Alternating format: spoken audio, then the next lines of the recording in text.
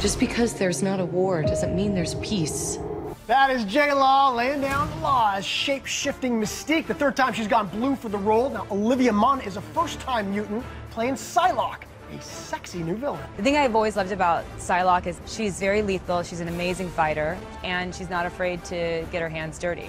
Oh, let me tell you, she did get her hands dirty because she worked hard for those ninja Yes, skills, showing off on Instagram how martial arts totally transformed her body. And Alexandra Shipp is electric as the new Storm. Check out the mohawk she's got going on right there. Now, she's actually taken over the role originally played by Halle Berry. The X Men Apocalypse hits theaters May 27th.